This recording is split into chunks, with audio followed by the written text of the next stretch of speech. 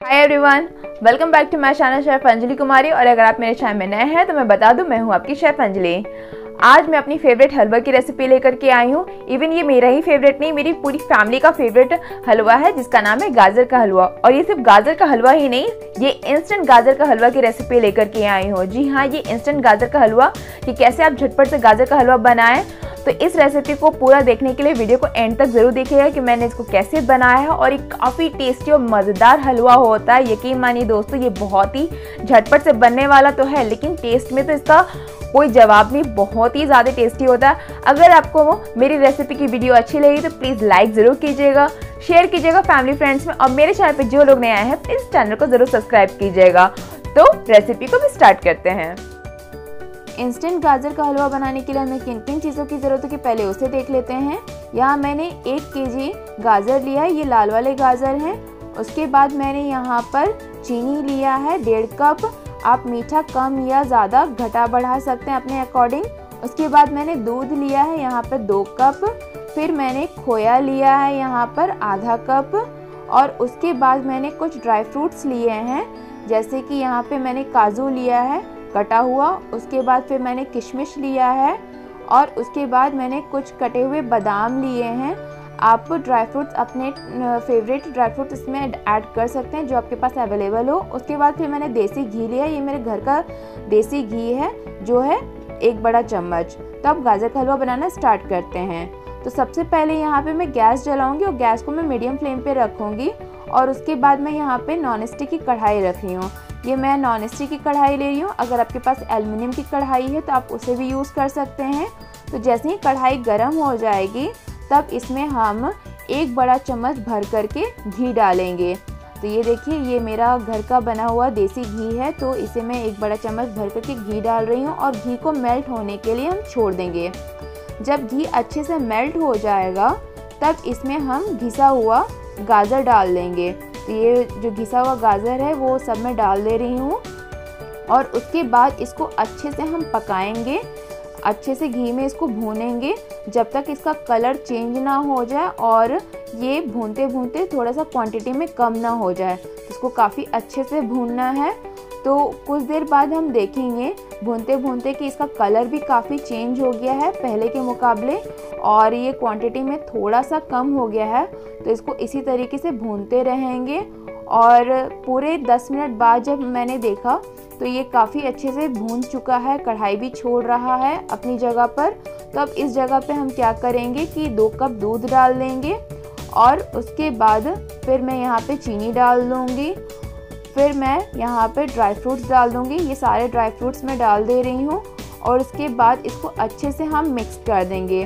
दूध, चीनी और ड्राई फ्रूट्स को अच्छे से गाजर में मिक्स कर देंगे। तो ये देखिए, मैंने इसे अच्छे से मिक्स कर दिया है। तब इसे हम छोड़ देंगे उबाल आने तक। जैसे उबाल पूरी तरीके से आने तक इसे हम छोड़ देंगे। तो कुछ देर बाद फिर हम देखेंगे कि इसमें काफ़ी अच्छे से उबाल आ रहा है। तो एक बार इसको फिर चमचे से हम चला लेंगे। तो इसे मैं चमचे से चला ले रही हूँ।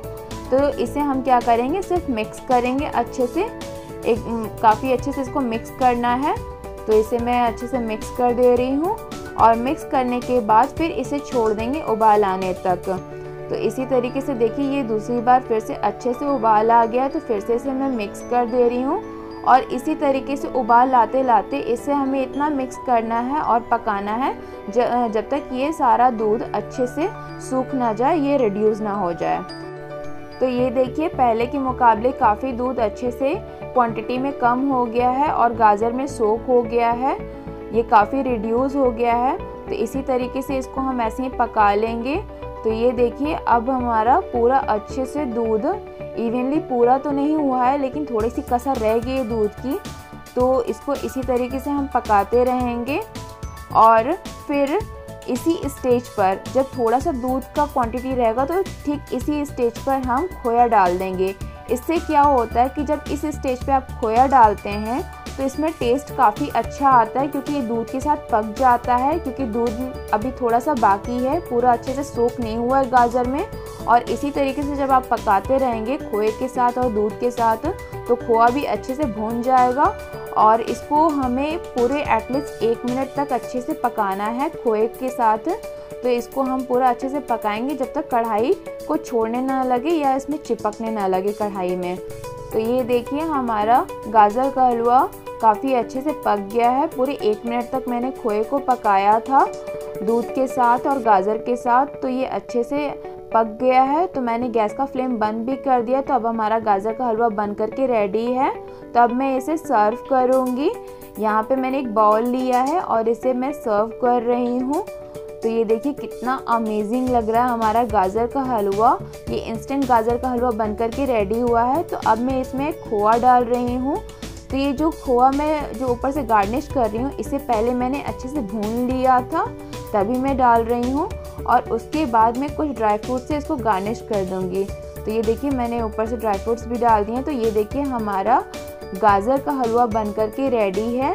ये काफ़ी अमेजिंग और बहुत ही डिलीशियस है। यकीन मानिए दोस्तों, अगर आप ये इंस्टेंट गाजर का हलवा बनाते हैं तो आपको बहुत अच्छा लगेगा। और आपके घर में किसी का फेवरेट ये हलवा है तो आप डेफिनेटली बनाएँ। ये काफ़ी अमेजिंग और टेस्टी होता है गाजर का हलवा। तो अगर आपको मेरी हलवे की रेसिपी कैसी लगी प्लीज़ कमेंट सेक्शन में ज़रूर बताएँ।